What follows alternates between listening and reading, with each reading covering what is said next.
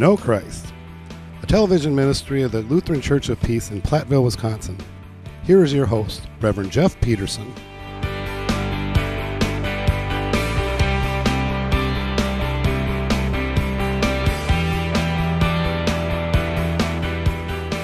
Well, today our study is on the third sign that Jesus performed as he was going about his ministry, and these signs are, are recorded in the Gospel of John. And so today I'm going to be reading from uh, I'm reading from John chapter 5, verses 1 through 15. Sometime later, Jesus went up to Jerusalem for a feast of the Jews. Now, there is in Jerusalem near the sheep gate a pool, which in Aramaic is called Bethesda, and which is surrounded by five covered colonnades. Here, a great number of disabled people used to lie the blind, the lame, and the paralyzed. One who was there had been an invalid for 38 years.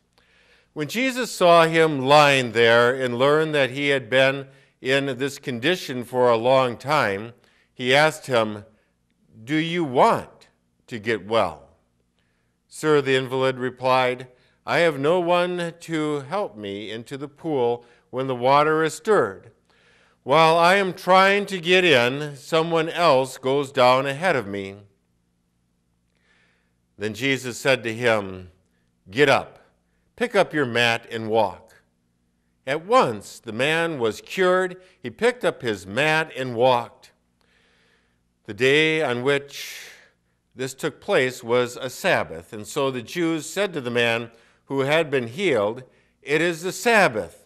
The law forbids you to carry your mat. But he replied, The man who made me well said to me, Pick up your mat and walk.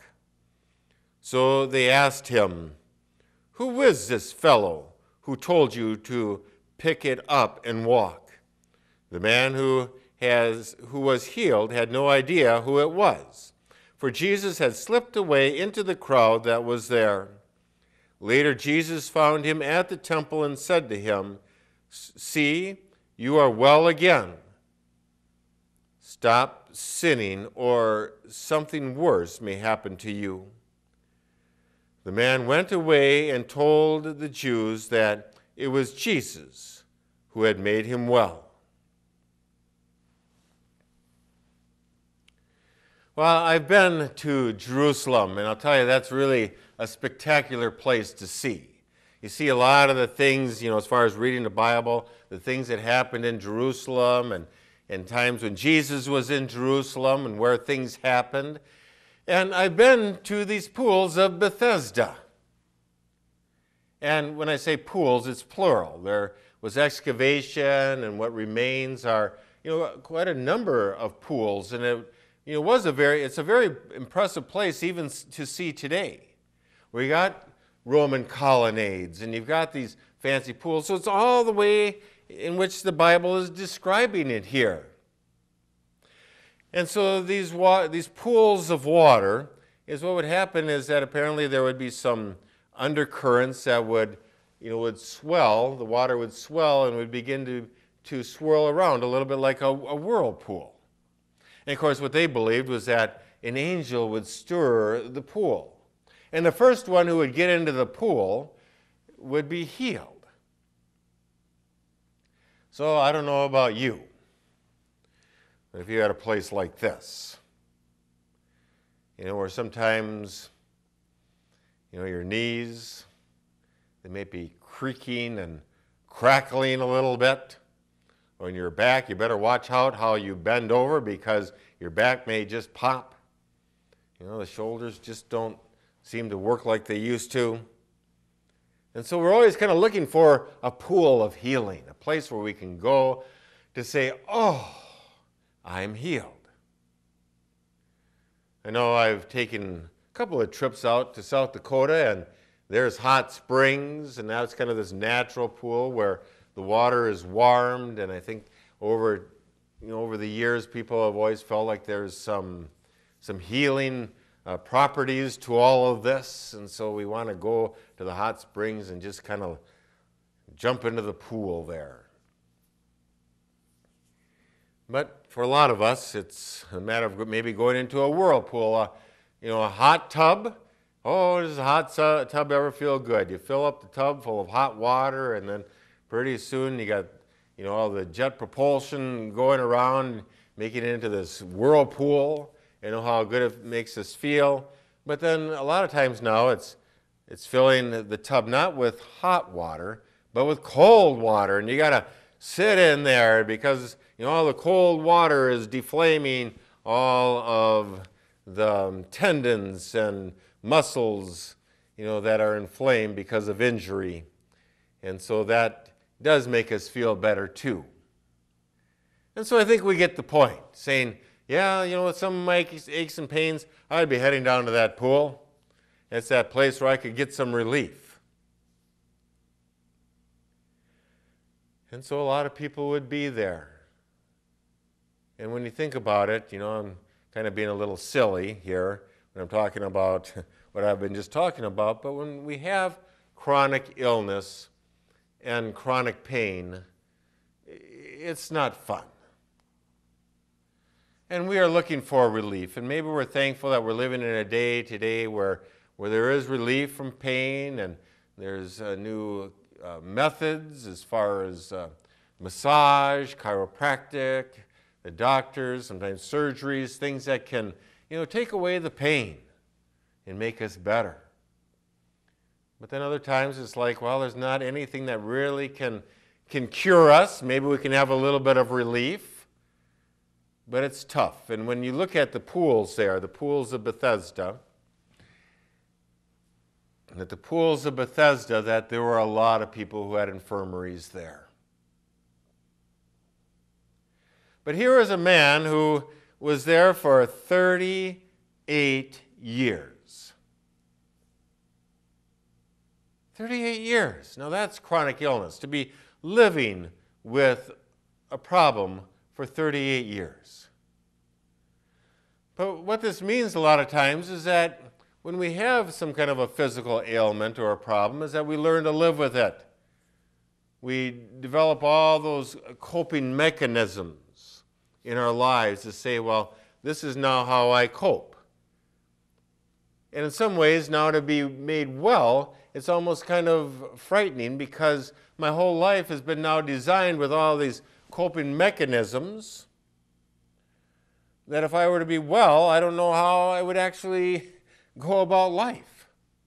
Because I've got my whole life set up right now. And so that can be very real. These are the people, these are the things, these are the places. This is all my environment of how I manage in life. And so to have a new life meaning that I don't have this illness anymore, what is that going to look like? How am I going to live my life? In some cases, it might be even be a little bit frightening. It's like a prisoner who has been in, in a prison for many years and now is released. You know, I've gotten so used to my environment in prison and I've actually done quite well that now to be released, it's like, I don't know how I'm going to survive in the world. It's a different world out there than when I came in. And you know, all these issues. But here was this man for 38 years, and as Jesus is there, just kind of Jesus talking to him, Jesus has mercy upon him. In fact, when you look at names in the Bible, even the names of communities, it's always interesting, you know, what, what it means. Like Jerusalem means city of peace. But whenever you have in the Bible, like in the Holy Land, whenever you have Beth, Beth means house, and so it's going to be Beth meaning the house of something. And so when you have Bethlehem, that means the house of bread. Well, then on the Sea of Galilee, you have a city called Bethsaida, and being on the city, a city right on the Sea of Galilee, where there's so much uh, fishing, so much of the fishing industry, well, it only makes sense that Bethsaida means the house of fish. And so Bethesda means the house of mercy. That this is where people now go to find mercy, is at these pools. Maybe in some ways we would say it's the house of healing. And so here's this man, he's going to this house of healing, he's going to this house of mercy, these pools. He's been there for 38 years.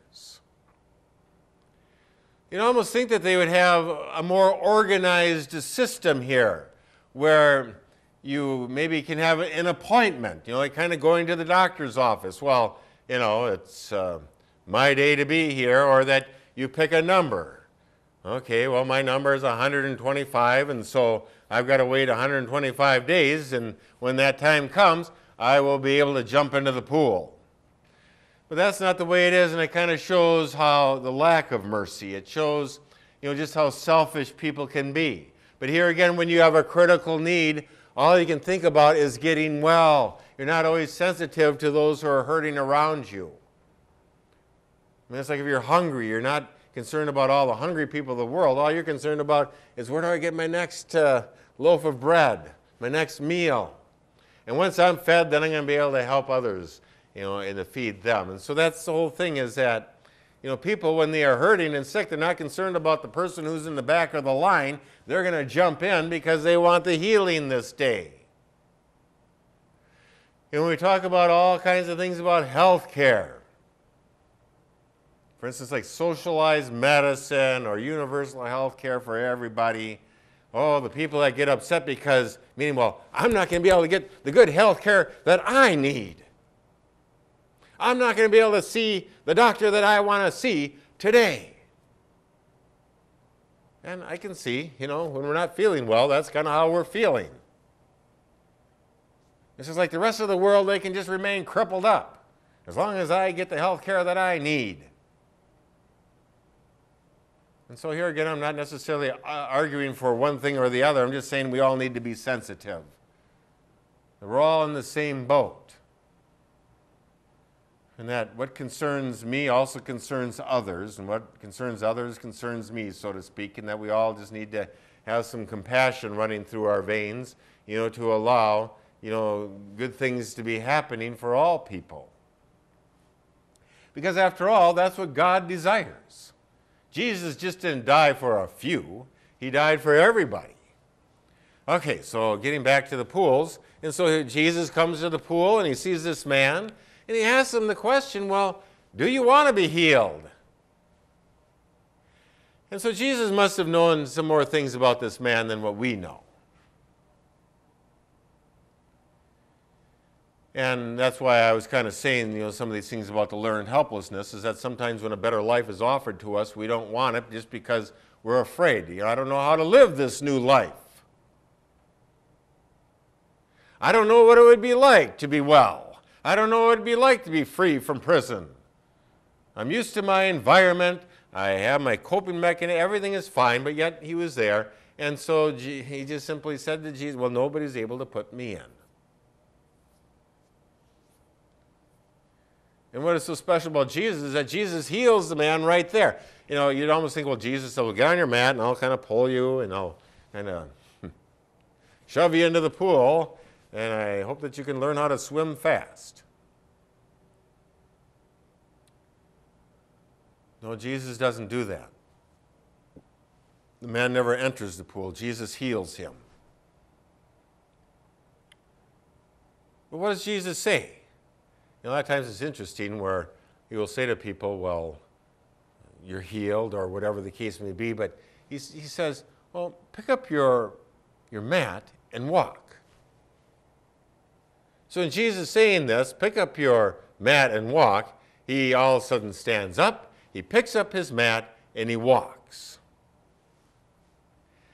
Now, you would think that everybody would be so happy for this man that everybody would be so excited saying, you know, you, you know that man, he's just been, you know, he's just part of the landscape. You know, after a while, we don't even notice him anymore. Or, or if he weren't there, we would kind of, hey, whatever happened to that guy?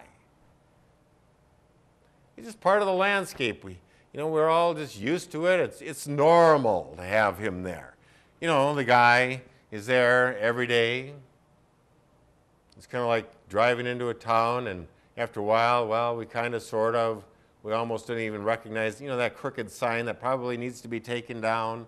You know, new people moving into town just kind of like, wow, look at that crooked sign. But for the rest of us, oh, we don't even notice it anymore. But Jesus notices this man. He's not the crooked sign that everybody else has just gotten used to. But he notices this man is saying, Oh, you're the crooked sign.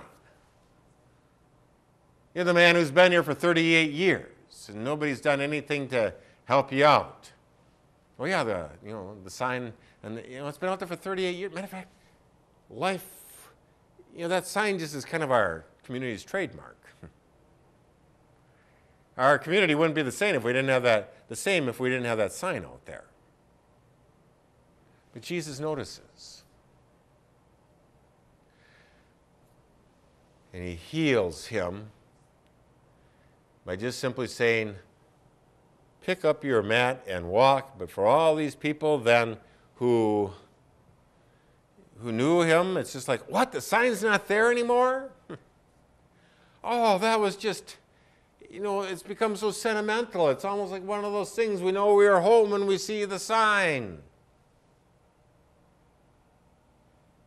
Maybe we should have taken a picture of it before it was taken down so we could tell our kids and grandkids about it. Remember the old sign? Well, here is this guy. It's not like they were so upset that he got to be healed and you know, you think that they'd all be happy for him, and you'd think that they would be praising Jesus and parading him around town, just saying, hey, this is the kind of guy that we want. We want a person in our town that's going to make things better, you know, that are going to heal and improve and make things, well, you know, a lot of times we don't want a guy like that in town because, no, we, we kind of just want everything status quo, you know, the way things are going. We don't want our neighbors to improve. We just don't know how we're going to survive in this. Matter of fact, maybe some of these things might get cut from us if you know things improve a little bit more around here. We're just used to having everything the way that it is, and so we'll just keep our you know our buildings from being painted and and our roofs from uh, to stop from being uh, leaking. And who really had the problem with this? The religious people. The religious people, the people that were living by God, you know, they knew all the rules. And in their heads, they were following all the rules.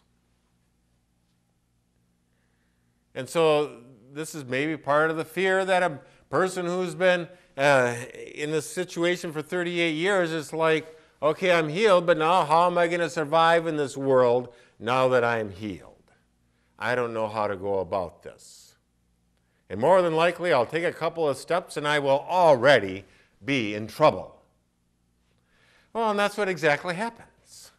He takes a couple of steps and everybody's going, oh, hey, wait a minute. Stop. I'm going to have to give you a ticket. You've taken a couple of steps. No, we're not rejoicing in the fact that you got healed. That's not the issue here. As a matter of fact, we need to figure out who healed you. Because whoever healed you has done a bad thing because you are now walking with your mat, which is, and this is the Sabbath day. You're carrying your mat. That is a work. You are breaking the Sabbath day, and so that is far worse than being an invalid. Okay, well, first of all, was he really breaking the Sabbath day? Here again, I've been to Jerusalem, and that's how strict the laws have gotten. When the Sabbath day begins on Friday evening, when the sun goes down, is that they even have the elevators on automatic, where they just stop at every floor. Why? Because to press an elevator button would be considered to be a work. So you don't want to be breaking the Sabbath. Well, yeah, God gave us, God gave his good laws. And why did he give them to us? To help us so that we can live as a society. Laws are given to help people, not to hurt them. And that's a lot of what Jesus in his ministry was trying to point out is that, God, yes, God gave his good laws, but then we make, but over time they would make more laws upon, you know, upon the laws that God had given. Laws upon laws upon laws upon laws to the point where people were suffocating with them. They couldn't even live life. And here was Jesus doing a good thing for this man, but the law now apparently has prohibited this good thing from happening. And so that's one of the things that we always have to realize. What laws are of God and what are man made laws? Yes, remembering the Sabbath day and keeping it holy, that was God's law. But to carry your mat was not breaking the law. These were man made laws that they based, you know, based on the law that God had originally given. And so in our society today, we have to think okay, is this God's law or is this man's law? You know, there was a time when the fishermen were really struggling. And so the way that the church felt that they could help out their fishermen was to say that we will eat fish on Fridays. And so everybody from the church would eat fish on Fridays to help out the fishing industry. But then after the, but then all of a sudden now that well, this is getting to be, this is a good discipline. To where now, you know, this has been all changed to be now like a law. That this is God's law that you only eat, that you eat fish on Fridays. Now here again, I eat fish on Fridays. Why? Not so much because I'm trying to follow one of God's laws, as I just like to eat fish. But it doesn't have anything to do with religion. You know, we are saved by Jesus Christ. He is the one who forgives us. We are reconciled to God in Jesus Christ. It's not that we, you know, it's not that we're saved by Jesus and eating fish on Fridays. Do you understand that? And so we shouldn't have all kinds of guilt over a man made law. Or the same thing when I was growing up in the 60s and 70s, you know, kind of had the hippie generation where all of a sudden boys were wearing long hair and everybody's going, oh.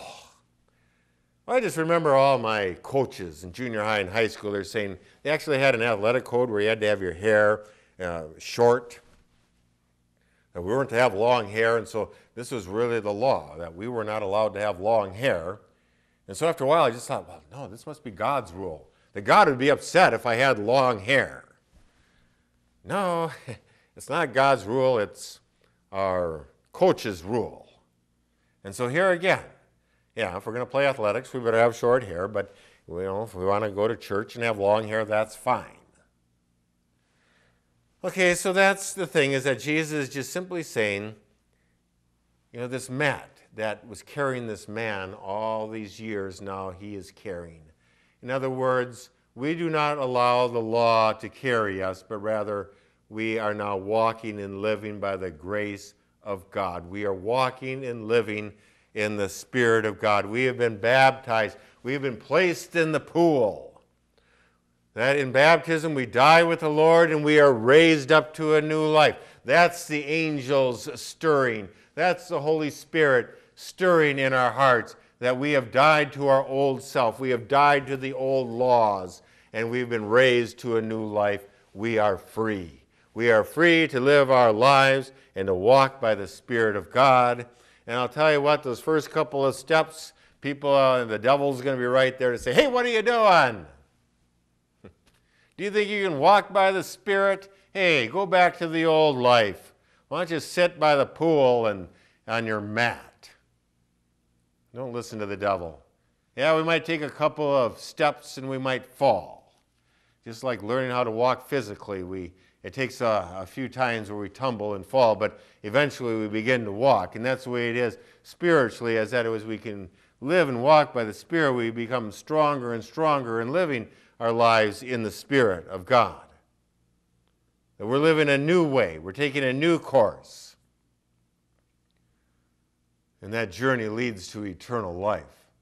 That we are living in relationship with our Heavenly Father who shows us mercy. Oh, what a blessed thing! What a blessed thing that it is. And so, as he is, so this man now, he doesn't know who healed him. But as he goes to the temple, he finds out it's Jesus. And Jesus just simply said, Well, you live and walk by the Spirit, and don't use your freedom to fall into sin, because that's going to be a lot worse for you than anything. And so that's the thing is that, yeah, we're baptized, but then we spend the rest of our lives getting to know the Father, getting to know Jesus who saves us. Yeah, we're put into the pool of our baptism, we are baptized. And as we grow and live by the Spirit of God, we come to know Jesus more and more. When he was saved, this man was saved. He didn't know who saved him, but now he spends the rest of his life getting to know him to where now not only he, but his whole family now comes to salvation. And so, what a powerful story. And this, of course, was the, you know, this was the, the third. Uh, of Jesus' signs is that, he that he encourages now him to just live this new life, this new life that God has given to him, uh, to live and to walk by uh, the Spirit of God. And so, what does that look like for us? Well, we are forgiven, we are saved in Jesus Christ, and the Holy Spirit fills our hearts. And we also take that warning to say that just because we are saved, just because we've been baptized in Jesus' death and resurrection, and even though we're powered by the Holy Spirit, that we just you know can't become so arrogant to think that um, that we don't need God anymore, or that you know, or to fall back into sin. And so I think so many times that we always have to appreciate the forgiveness that God has given to us, and never forget that. To never take it for granted, but to say that now that I've been given this new life, I'm going to live it to God's glory. You know, that we're not going to just take our freedom and, and make a life that's going to be more tragic for us than to be lying by the pool uh, helpless. No, we are beggars before God. We beg His mercy, and He gives us His mercy through His Son, Jesus Christ.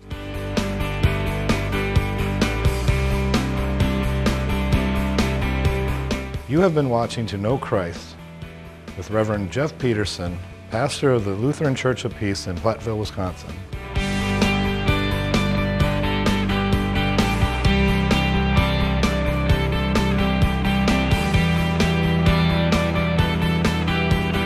For a donation of $15 or more, you can receive a copy of Pastor Pedersen's latest book, Prayer, a practical guide to getting God's direction.